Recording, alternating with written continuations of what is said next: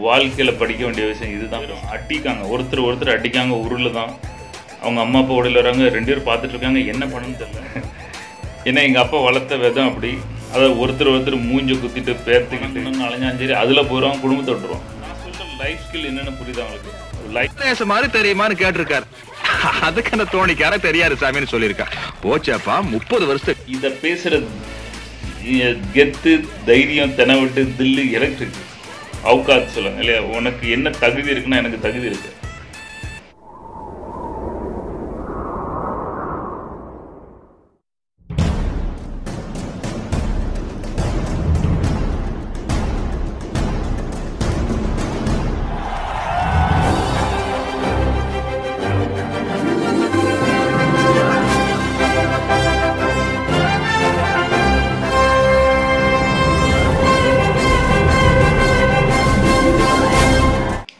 ஏத்தலை என் building ஏத்தலை இங்கேருந்து பார்த்தா ஏற்ற பில்டிங் இருக்குது அங்கே வந்து ஒரு ரூம் இருக்குது அங்கே நிறைய ஃப்ளாட்ஸ் இருக்கலாம். ஏத்தலை பார்க்கும்போது பில்டிங்லலாம் எங்கெங்கே என்ன நடக்குன்னு தெரியும். கதவு நல்லா திறந்துருக்கு. அந்த வீட்டில் வந்து அவருக்கு அவர் வந்து ஒரு லேப் டெக்னீஷியன்ஸு ரெண்டு பையன் இருக்கான் வாலிய பையன். ஓகே அம்மா ரெண்டு ரெண்டு ஆம்பளை பையன் அவன் பையன். இவங்க ரெண்டு பேரும் அந்த நான் திடீர்னு மேலே வெளியே பார்க்க ரெண்டு பேரும் அடிக்காங்க. ஒருத்தர் ஒருத்தர் அடிக்காங்க. உருள் தான் அவங்க அம்மா அப்பா உடையில் வராங்க ரெண்டு பேரும் பார்த்துட்டு இருக்காங்க. என்ன பண்ணணும்னு தெரில ஏன்னா பையன் என்ன இருக்கும்? பதினஞ்சு வயசு இப்போ இருபது வயசு பதினஞ்சு வயசு இந்த மாதிரி டைப்பில் அடித்தடி இருக்கும்போது அம்மா அப்பா எங்கே ஓட மு போக முடியும் அப்படின்னு. சரி இது சீனு இதுக்கப்புறம் பேக்ரவுண்டில் இது என்ன குடும்பம் ஏது பண்ணுறாங்க ஏது பண்ணுறாங்க அப்படின்னு ஃபுல்லாக நான் இறங்கி பார்க்குறேன். இவர் வந்து காலையில் அஞ்சு மணிக்கு சங்கு ஊதுவார். ஓகே மணி அடித்து பில்டிங்கில் அவ்வளோ எழுப்பி விட்டு அஞ்சு மணிக்கு சங்கு ஊதி எல்லா பிரார்த்தனையும் எல்லாம் பண்ணி அது லாக்டவுன் ஆகி ஊரே ஊர் சாமி கும்பிட்டு குறைக்கவே இல்லை. அந்த மாதிரி நான் தப்பு சொல்ல வரல. நான் வந்து அந்த மாதிரி.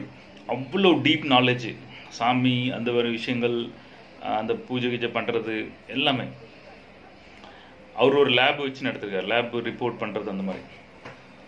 நான் இதில் எனக்கு மைண்டில் ஸ்டேக் ஆகுது ஒன்றே ஒன்று தான் உங்களுக்கு எவ்வளோ நாலேஜ் இருக்கட்டும் ஒரு குடும்பத்தை எப்படி நடத்தணும் குழந்தைங்களை எப்படி வளர்க்கணும் அடிதிரி போட்டுட்டு இப்போ கண்டிப்பாக நானும் என் தம்பி இப்படி அடிபட்டு விட்டு உருண்டமானா கண்டிப்பாக கிடையாது. ஏன்னா எங்கள் அப்பா வளர்த்த விதம் அப்படி.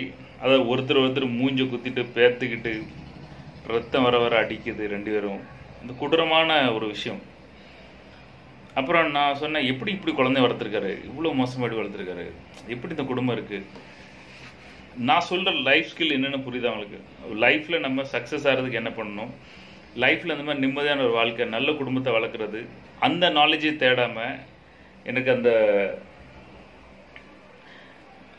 அந்த சத்யராஜை தூக்கிட்டு சத்யராஜை தூக்கிட்டு ஒரு பையன் வரும்போது சொல்லி அந்த ஒரு கதை உண்டுல போட்டில் வரும்போது உனக்கு அந்த சா மகாபாரதம் தெரியுமா அது தெரியுமா இது தெரியுமா மந்திரம் தெரியுமா எல்லாம் கேட்டு கடைசியில் என்னாச்சு? அப்புறம் படகுல ஓட்ட எல்லாரும் சாவ போகிறோம் உனக்கு நீச்சல் தெரியுமா தெரியாது வாழ்க்கையே போச்சு அப்படின்னு சொன்ன மாதிரி. மாதிரி தெரியுமான்னு கேட்டிருக்காரு. அதுக்கு அந்த தோணிக்கார தெரியாது சாமின்னு சொல்லியிருக்கா. போச்சாப்பா முப்பது வருஷத்தை வீணாக்கி போட்டியா அப்படின்னாரு. பேசிக்கிட்டே இருக்கையில படகுல ஓட்ட விழுந்து தண்ணி உள்ள வந்துருச்சு. இப்ப தோணிக்காரன் திருப்பி அடிச்சிருக்கான். ஏன் ஜாமி உனக்கு நீச்ச தெரியுமான்னு. சாஸ்திரி சொல்லியிருக்காரு அது தெரியாதுப்பான் ஒட்டு மொத்தமா அவன் வாழ்க்கைய போச்சுட்டு இருக்கான் எப்படி இருக்கு பாரு. அதனால பொழப்புக்கு எது தேவையோ அதைத்தான் கத்துக்கணும். இவங்க என்னெல்லாமோ படிக்காங்க என்னமெல்லாமோ நாலேஜ் வச்சுருக்காங்க என்னமெல்லாமோ டிகிரி வாங்குறாங்க எப்படிலாமோ வாழ்க்கை வாழ்கிறாங்க ஆனால் ஒரு ஹாரிமோனி இப்போ அந்த பசங்க இப்போ பதினஞ்சு வயசு பதினேழு வயசில் இந்த அடி போட்டு உரத்தம் உரத்தம் மூஞ்சி பிச்சுட்டு வாழ்ந்தானே. இந்த பசங்க வந்து கல்யாணம் முடிஞ்சு போகும்போது என்ன நிலமாகும் இந்த பசங்க வந்து இந்த இருபத்தஞ்சு வயசு முப்பது வயசு எப்படி இருப்பாங்க? அம்மா அப்பா திரும்பி பார்ப்பாங்களா? குடும்பத்தை பார்ப்பாங்களா? இல்லை அண்ணன் தம்பி ஒருத்தர் ஒருத்தரும் பார்ப்பானா? பார்க்க முடியாது. ஏன்னா இந்த வெறி இருக்குல்ல இந்த இந்த கோவம் வந்து உள்ளுக்குள்ள இருந்துட்டு இருக்கும். எவ்வளோ குடும்பத்தில் நம்ம குடும்பத்தில் இருக்கு சொல்லுங்கள் அடிதடி போடலை பட் வெறுப்பு அண்ணன் தம்பி மேலே வெறுப்பு அந்த பாசத்தை எப்படி டேக் கேர் பண்ணி கொண்டு வரணும். ஒரு குடும்பம் வந்து அந்த நான் என்ன சொல்றேன்னா நீங்கள் எல்லா தலையும் குப்பலதுக்கு போடுங்க. இதை படிங்க முதல்ல. பிள்ளைகள் எப்படி வளர்க்கணும் பிள்ளை கூட எப்படி பழகணும். அப்புறம் அந்த பேக்ரவுண்ட் பார்க்கும்போது தான் தெரியுது இந்த பையன் எங்கேமோ என்னைக்கோ காலேஜ் போகிறோன்னு சொல்லி போகலையா வெளியேந்து போயிட்டு வந்துட்டானா அந்த பையன் பில்டிங்கில் அப்போ தான் என்ட்ரி அடிக்கான் பொதுவாக அந்த மாதிரி காம்ப்ளெக்ஸில் இந்த மாதிரி விஷயங்கள் நடக்காது. காம்ப்ளெக்ஸில் எல்லாம் கொஞ்சம் டீசெண்டாக இருப்பாங்க சண்டை போட மாட்டாங்க. சும்மா போட்டு ஏலா வந்து பாரில் வெட்ட போட மாட்டேன். இந்த மாதிரிலாம் நடக்காது. இப்போ நாங்கள் இருக்க பில்டிங் கொஞ்சம் விலை கூட்டின ரேட்டு அது கொஞ்சம் விலை குறைஞ்சது. ஆ- அது அதுக்கு மாதிரி கரெக்டாக இருக்கும். அந்த மாதிரிலாம் எந்த வித்தியாசம் வராது. பட்டு அவங்க நடக்கிறதும் அவங்க பேசுகிறதும் இறங்கி ஒன்று அட்டி அவன் அந்த பையன் தெருவில் போட்டு அவங்க அப்பா அடிக்கிறவனை அப்போ நினச்சேன் இவன் ஏன் அவன் அண்ணனை போட்டு அடிக்கான் அப்படின்னா அவங்க அப்பா அவனை போட்டு அடிக்காது. ஒரு இரு பதினஞ்சு இரு இரு பதினெட்டு இருபது வயசு பையனை ரோட்டில் போட்டு அடிச்சா ரோட்டில் மீன்ஸ் காம்ப்ளெக்ஸில் எல்லாரும் உட்காந்து பார்க்காங்க. ரெண்டு பில்டிங்காரங்களும் அங்கே நூற்றம்பது பில்டிங்காரங்க பார்க்காங்க. அந்த மாதிரி போட்டு அடிக்கிற அந்த பையனை. அந்த பையன் என்ன பணிவு என்ன மதிப்பு என்ன அப்பா மேலே இருக்கும்? நான் சொல்கிறது புரியுதா?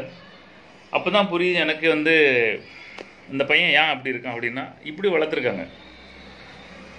ஸோ அந்த குழந்தைங்களே இருந்து நம்ம குழந்தைய எப்படி வளர்க்கும் அப்படிங்கிறது ரொம்ப முக்கியம். குழந்தைங்க நல்லா விளாட்றனா அதுக்கு நம்ம தான் நூற்றுக்கு நூறு முக்கியம். நம்ம எங்கேயோ கேனையம் கோணைய மாதிரி இருந்திருக்கோம் அப்படின்னு அர்த்தம். அல்லது எதை படிக்கணுமோ படிக்காமல் இருந்திருக்கோம். எப்படிலாம் நம்ம புத்திசாலியாக வளரணும் வளராமல் இருந்திருக்கோம். அதுதான் அர்த்தம். நம்மளோட அம்மா அப்பா வந்து நம்ம பே அம்மா அப்பா பேர் சொல்லணும்னு சொல்லுவாங்க இல்லையா? இன்னமும் சொல்லுவாங்க இல்லையா? நம்ம அம்மா அப்பா பேர் வந்து நம்ம காப்பாற்றணும் அந்த மாதிரிலாம் ஒன்று உண்டு. அந்த மாதிரி விஷயங்களை பார்க்கும்போது நான் எனக்கு தெரிஞ்ச நிறைய ரிலேட்டிவ் சரி சொந்தக்காரங்க சரி அக்கம் பக்கத்தில் உள்ளவங்களும் சரி இதுங்க வளர்ந்த விதத்தை பார்க்கும்போது எனக்கு தூக்கி எறிப்படுது ஒன்று வந்து யாரெல்லாம் வந்து டிசிப்ளின் இல்லாமலோ எவன் வாழ்க்கை எவன் குடியை கெடுத்தாலும் சரி எப்படி இருந்தாலும் சரி யாரையும் மதிக்காமலும் சரி அல்லது பயங்கர செல்ஃபிஷாக அவன் அவன் அண்ணனை விரட்டி விட்டு இவன் வீடை வாங்கிட்டுனா சரி அப்படி குடும்பத்தில் பார்க்கும்போது அந்த புள்ளியில் அப்பாவை விரட்டி விட்டு தங்கச்சியை விரட்டி விட்டு அக்கா விரட்டி விட்டு வீடு சொந்த வீடு அமுக்கிற மாதிரி. அப்புறம் இப்படி தான் போகுது அந்த லைஃபு ஸோ ஒரு நல்ல குடும்பம் நல்ல கலாச்சாரம் அப்படிங்கிறது வந்து படிக்கணும். பட் நமக்கு ஒரு பெரிய தப்பான விஷயம் என்ன தெரியுமா?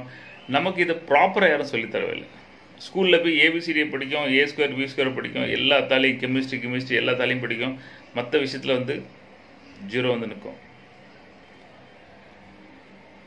ஸோ அது ஒரு பெரிய ஷாக்கிங்கான விஷயம். ஸோ குடும்பத்தில் இப்போ ஒரு வீட்டில் பெண் குழந்தைங்க வளர்க்காங்க. வளர்த்தா அது எங்கேயாவது அவனை பார்க்காத இவனை பார்க்காத அப்படி பார்க்காத இப்படி பார்க்காத அதை பொத்தி பொத்தி வளர்த்து அல்லது நான் ஃப்ரெண்டு மாதிரி அப்படியே ஃப்ரெண்டுனா ஃப்ரெண்டு இருக்காது. அது பிள்ளைகளுக்கு தெரியும். ஃப்ரெண்டு வேற சும்மா நடிக்காம ஃப்ரெண்டு மாதிரி நம்ம அப்பா குழந்தைங்க அப்படி தெரியும். தூக்கி வாரி போடும். அந்த குழந்தைங்க வந்து நான் கெட்டுனா ஒரே ஒருத்தனை எவனையாவது பார்த்துரும். அவன் என்னத்தையாவது சொல்லுவான் ஃப்ளாட்டு அந்த பிள்ளைகளுக்கு சொல்லி வளர்க்கணும். இந்த வயசில் வரும்போது காதல் வரும். அம்மா அப்பா எவனுமே தெரியாது. அவன் தான் வாழ்க்கையே தெரியும். அதுவும் காணாதுன்னு அவங்க என்ன வா கல்யாணத்துக்கு முன்னாடி என்னென்ன தப்புலாம் பண்ணி எங்கெல்லாம் மாட்டி எங்கெல்லாம் பிரச்சனை ஆகி எங்கே வேணாலும் அவங்க போகலாம். அந்த அளவு அவங்களால முடியுமா? அந்த அளவு நம்ம குழந்தைங்க எப்படி வளர்க்க போகிறோம் அந்த வருமுன்னு காப்போம். அந்த குழந்தைங்க இந்த மாதிரி ஒரு லவ்வெல்லாம் சிக்கும். இல்லை என் பிள்ளை நல்ல உலகத்தில் உள்ள நல்ல பிள்ளை என் பிள்ளை தான். அதுக்கு பின்னாடி என்ன நடக்குன்னு யாருக்கும் தெரியாது. ஸோ அந்த குழந்தைகள் வளர்க்க தானே இதை தான் முதல்ல படிக்க நான் சொல்கிறேன் நீ என்ன சம்பாரிச்சு எவ்வளோ பெரிய செட் ஆகி எங்கே போய் செட்டில் ஆனதுக்கப்புறம் சரி ஒருத்தர் ஒருத்தர் பிடிக்காமல் அடியும் தடியும் போட்டு மூஞ்சில் முழிக்காமல் போயிட்டு குடும்பத்தில் புருஷன் கூட சண்டை புள்ளியில் கூட சண்டை வளர்ந்ததுக்கப்புறம் அது சண்டைன்னா என்னத்தடா சம்பாதிச்சு என்ன பண்ணுங்க? எனக்கு அந்த சீன் பார்த்துட்டு எனக்கு தூக்கி ஆறி போட்டு எப்படி லைஃப்பில் என்னெல்லாமோ படி இதை தான் படிக்கணும் முதல்ல இல்லையா? குடும்பம் எப்படி இருக்குது குடும்பம் எப்படி நடத்தணும்? எல்லோரும் ஒன்றா கொண்டு போகணும்.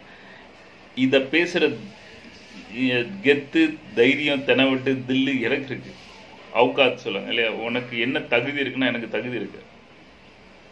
என் தம்பி தங்கச்சி ஆகட்டும் என் அம்மாவாக இருக்கட்டும் என் சித்தி சித்தப்பா குழு குழும்பு என் அம்மா அப்பா வழியில் அம்மா எல்லாரும் மாமா மாமியார் ஒன்றா வச்சுருக்கேன் சந்தோஷமாக இருக்கும் நாங்கள் ஆ சின்ன உரசல் அங்கங்க பட் எங்கே நின்னா யாருக்கும் தெரியாது. ஆ இது கட்டி காத்த குடும்பம் நடந்த விஷயம். அது வந்து அதுக்கு எல்லாரும் ஒத்துழைப்பு. குடும்ப குடும்பத்தில் எல்லாரும் நல்லவங்களா தான் இருப்பாங்க. ஸோ அந்த மாதிரி எங்கள் குடும்பத்தில் நல்லவங்க தான். பட் அது எங்கே எங்கே எப்படி தேர்த்தி எப்படி கொண்டு வந்து கொண்டு வந்திருக்கு. வாழ்க்கையில் இதை படிங்க. வாழ்க்கையில் இந்த மாதிரி ஒரு அன்பான எல்லாம் அப்படியே இந்த சின்ன பிள்ளையா இருக்கும்போது சின்ன பிள்ளையே வளர்ந்துட்டு அது பெருசு வந்து பெருசு வந்து பெருசு வந்து அதுக்கப்புறம் கல்யாணம் முடிச்சு போயிடுச்சு அவ்வளோதான் அந்த ஓவர் வியூலேருந்து பாருங்கள் என் குடும்பத்தை நான் எப்படி வளர்க்க போகிறேன் எப்படி கலாச்சாரம் இருக்குது பெருசாலேருந்து எப்படி இருப்பாங்க? இவங்களை எப்படி நான் வளர்க்கணும்? என் பிள்ளைகிட்ட நான் எப்படி பழகணும்? என் பிள்ளைகள் மற்றவங்கள்ட்ட எப்படி பழகணும்? என் பிள்ளைகளுக்கு என்ன ஆபத்து வரும்? காதலும் சரி கத்திரிக்காயும் சரி என்ன கண்ட குப்பெல்லாம் எப்படிலாம் வரும்? அந்த ஆபத்தை நம்ம எப்படி தடுக்கணும் பிள்ளைகளுக்கு? எப்படி இதெல்லாம் சொல்லி வளர்க்கணும்? நம்ம எப்படி ஃப்ரெண்ட்லியாக இருக்கணும்? அவன் அவன் சோத்துக்கு வழி இல்லாமல் திண்டாட்டிட்டு மண்டை காஞ்சிட்டு இருக்கான். இதில் ஒரு உறவை பற்றி எங்கே போவாங்க? அப்படியா இருக்கும். சிலவன் அப்படியே சோறு பணங்கணும்னு அலைஞ்சாலும் சரி அதில் போயிடுவான் குடும்பத்தை விட்டுருவான்.